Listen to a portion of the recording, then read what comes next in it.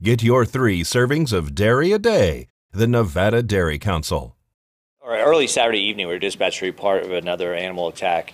Uh, crews arrived on location and found that a gentleman who had been walking on Dyer Street was attacked by an unknown type dog and uh, sustained injuries to his lower extremities that required flight. Wow. So bit pretty badly. Yes, absolutely. It was a significant injury to the lower extremity.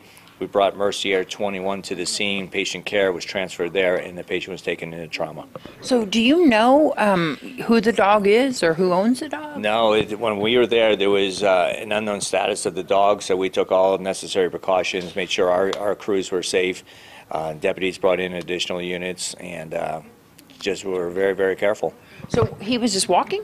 That's my understanding. He was outside, possibly walking on a darkened street, and then was attacked by the, an unattacked dog. There tends to be some issues with people, um, dogs getting out. It's very important that you secure your animals, especially for things like this, because people like to walk. They like to uh, enjoy their neighborhoods. Absolutely, and you want to take every necessary precaution to make sure you don't bring unnecessary, you know, liability upon yourself, but more importantly, to make sure other people don't get hurt.